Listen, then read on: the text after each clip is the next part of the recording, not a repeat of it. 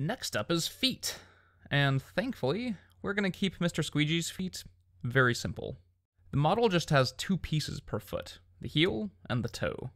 And we're going to take the easy way out for this rig and just have one bone for each. But even so, there are some things that we need to think about. The first is translation and rotation axes. The translation and rotation axes of bones are determined by the bone's orientation in edit mode. I touched on this briefly before, but I'm going to go a bit more in depth into it now. Let's take a look at this armature I've prepared for us. We can see the rest position of the bones by entering edit mode on the armature. I've enabled axis display so that we can see the axes of the bones. And we can see that the y-axis of this bone is pointing off at an angle. Now, if we go into pose mode and play with this bone's y translation, we see that the bone moves along that local axis of the bone. Even if we rotate the bone in pose mode, that original edit mode orientation is still what determines the translation axes. Moreover, if we give the y translation a value of, say, 3, and then change the bone's orientation in edit mode, then in pose mode, its position changes. This is because the y translation value is now operating on the new y axis, and is going in this direction instead of this direction like it was before. This applies for all of the translation axes, not just the y translation axis. And it also applies to the rotation axes. If we switch the bone to Euler rotation, and play with its y rotation axis, we see that it rotates around the bone's edit mode y axis as well. These oriented axes, with their custom zeroed out positions, are called the local space of the bone. You may have noticed me using that term before, and it is in contrast to something called world space, or sometimes also called global space. World space is the overall space of the scene that everything exists in. If we have a bone floating in the scene somewhere, its world space translation might be something like x equals 2 and y equals 3. That is the absolute translation coordinates of the bone in the scene.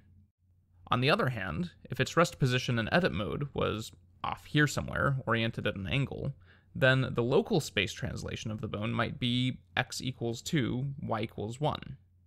One way to think of this is to say that the world space is the absolute coordinates of a bone in the scene, whereas local space is the relative coordinates of a bone compared to its resting pose. But bones are not the only things that can have local spaces. They're just the only thing whose local space we can set directly. By default, an object's local space corresponds exactly to world space. But that can be changed if, for example, you give it a parent. In fact, we exploited that in the bouncy ball rig. Remember that when the parent was rotated, the translation axes of the ball changed with it. We were indirectly changing the local space of the ball via a parent. And that happens with bones as well. If we rotate the parent of this bone, then its local space rotates too. So the local space of both objects and bones is affected by their parents, but only the local space of bones can be directly set by us. Whew, that might be a lot to take in, and uh, I apologize if that's the case. Spaces are an important concept in computer graphics and rigging, but they can also be kind of mind bending. So for now, I'll just leave it at this, and we'll revisit it later. But uh, one last thing.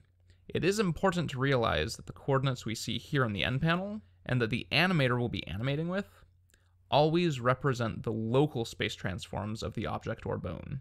In other words, animators are always animating in local space. And that's why we care about this with the foot. We want to place the foot bones so that their local translation and rotation axes make sense for the animator. If we put the foot bone at an angle, then there wouldn't be a simple single axis for up and down. Also, there wouldn't be a simple single axis for pivoting the foot around its heel. But it's helpful for the animator to have those simple, well-aligned axes, because it makes it simpler for them to, for example, tweak just the height of the foot, or manage the interpolation of the height of the foot. And these are important things for the animator to be able to do. So for our foot rig, we need two bones, the main foot bone and the toe. And the toe will be the child of the foot. And since we want them to have their axes nicely aligned, let's make them horizontally straight. To keep things simple, we're going to assume that the foot bone will be the direct target of the IK leg. So that means that it will need to be positioned where the leg is going to connect to it, which is at the ankle. And that's just a bit higher than the toe. We also want to consider which axis is the up axis for the foot. In Blender, the z axis is considered the de facto up axis, since that's what world space uses. Let's turn on axis visualization so that we can see if that's what we have or not. Uh-oh, looks like we have some adjustments to make. Fortunately, Blender lets us roll bones in edit mode. Select the bone, and press Ctrl R to roll the bone in edit mode.